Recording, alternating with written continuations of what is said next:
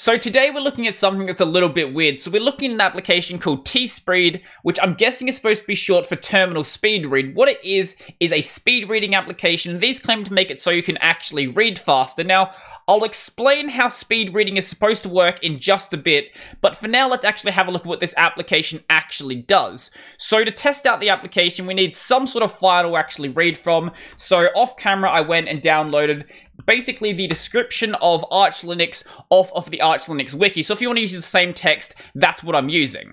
To use T-Spreed, basically what we do is redirect some sort of text into it. So in this case, we're going to do T-Spreed, redirect, T-Spreed, test, and as you're going to see, it shows one word at a time. Now, you will notice a bit of flashing off to the left-hand side here, right here, as well as down the bottom. This is more of a problem with Alacritty than it is with this application. Alacritty likes to do weird things like that, but if you try it in something like Xterm or ST, you're just going to see the words flashing on the screen. Now, you'll probably notice that even though it's running at 300 words per minute, which is the default setting, it's considerably easier to read than trying to read 300 words per minute if you're reading it along a regular document. And that's partially because you're only seeing one word at a time, but there is a bit more to it as well. So if we want to go and quit out of this, what we do is press Control C, and when you do that, you're going to notice that it tells you how far in the document you're actually up to. So if you want to go and restart the document from that point, then you can go and do that. So personally, I thought that 300 words per minute was perfectly readable, but we can actually go and raise it up as well. Now, the way we do that is with the dash W option. Now, there isn't really a maximum value, but the minimum value is going to be one. So one is going to be one word per minute. Obviously, as you can see, the first word doesn't conform to that, but every single word after that point is going to take an entire minute to show. Obviously, don't try to actually use it like this because that really isn't going to be very useful. But if we set it to something like, say, 400, 400's a bit faster, but if I wasn't talking right now, you'd probably notice you're still able to read this. Now, whether you can actually understand the words that you're reading is another question entirely, because even though you can actually take in the text, there's more to reading than just understanding the letters you actually see. There is something we can do to make it a bit easier to read, obviously not at 2 billion words per minute, but at a more reasonable speed. So if we go and enable the dash F option, this is going to enable the focus line. So what this focuses on is the pivot character. So the pivot character is the optimal recognition point for the word, where if you focus on this point, this is going to make the rest of the word easier to read. I'm not really sure on the science behind why this works, but this is a well-accepted reading technique. And if we don't like having a line, we can go and switch it over to a pointer as well. So if we keep the dash F option enabled and also pass in the dash P option, we can go and set it to point.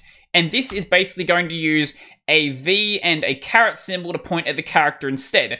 It's only a minor difference, and really it's just an aesthetic change. And speaking of aesthetic changes, if we don't like the color being red, we can go and change that with the dash C option. So this takes in a number that corresponds to one of the 8-bit ANSI colors. So if you notice that your color wasn't actually red, the reason why is because you don't actually have red lined up to red inside of your terminal color scheme. I've done videos on that in the past, but if we go and pass in, say, 6, this is going to represent cyan. So if the cyan color on your terminal isn't actually cyan, then that's not the color you're going to see. So if we go and say change this to 3, I believe that's going to be yellow instead.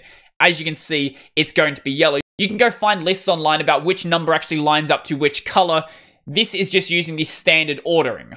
So up until this point, we've been using a constant words per minute, and the problem with that is that some words are going to be considerably longer than others, so obviously they're going to take longer to read. So if we pass in the dash L option, this is going to base the words per minute off of the word length. So as we can see, give it a second, as it's jumping between the different words, the longer words are going to take considerably longer to switch to the next word, and then the shorter words are going to be there for a much shorter amount of time. Now, I don't know if this makes it easier or harder to read. Personally, I find it a little bit annoying to have this jumpy words per minute. I'd much rather have a constant words per minute that I can just consistently read. Now, I mentioned earlier that when you quit out a T-Spreed, it shows you the word that you're up to. So if you want to go and return to that point, what we do is we use the dash N option and then pass in the number for the word we want to go back to. So in this case, let's say we go to number 300 and it's going to jump us directly to that point.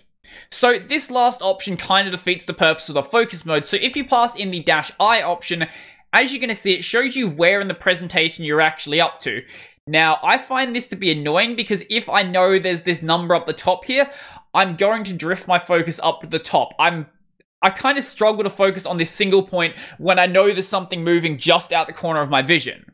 So if there's some of the options that you like and you just want to run them every single time, you can go and add them to the config file. So that's going to be located in your .config folder in a folder called tspreed and in a file called tspreed.rc. So if you want to go find what all of these variable names are, go check the man page for tspreed. And if we scroll down just a bit, as you can see, it's going to tell you what each of the names are actually equivalent to. So WPM is equivalent to dash W, numstart is equivalent to dash N, and it tells you exactly what sort of value it actually takes in. I just want to talk a bit about what speed reading actually is, because from my brief bit of research, I find that it seems to be a fairly contested idea. So basically the idea is that when you read along a line, you don't actually read as if you're sliding along the line. What you do is you jump between each of the words, and you probably don't even notice that you're doing this, but the next time you go and read something, pay attention to what you're actually doing. And people who don't do this typically struggle with actually reading at a reasonable pace. So a basic idea to train people to read better is to actually teach them to jump to these specific points.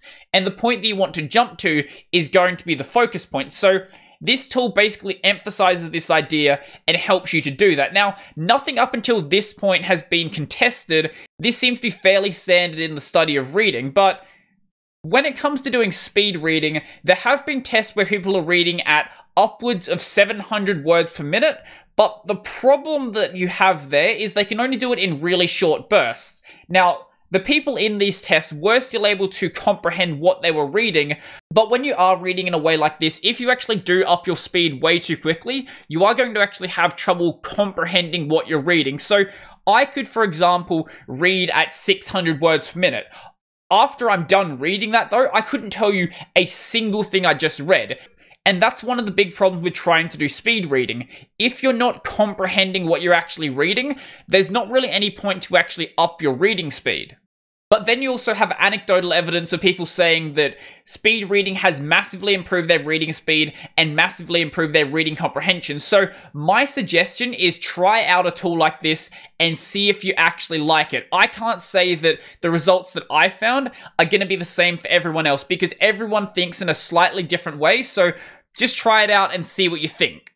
Now, there are some nice additions I would like to see added into this application. So one of those is there's no way to actually pause. So if I was going to say cough or sneeze or do anything where I'm going to lose focus on what I'm actually reading, I would like a way to just pause it for a moment, do whatever I need to do, and then get back into reading. Right now, the only way to do that is to quit out of the application when you're going to do something like that and then restart it from that point, which isn't really that big of a deal, but it is a just slight annoyance that I don't really want to have to deal with.